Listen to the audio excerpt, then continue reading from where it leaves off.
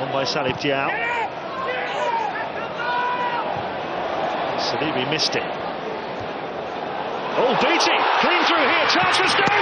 He's buried it!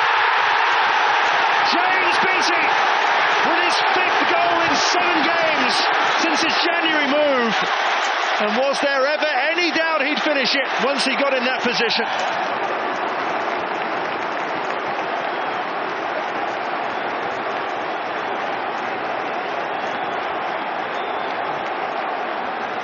What a fillip for Tony Pulis. James Beattie's 400th career appearance. He celebrates it with his first ever goal against Bolton Wanderers.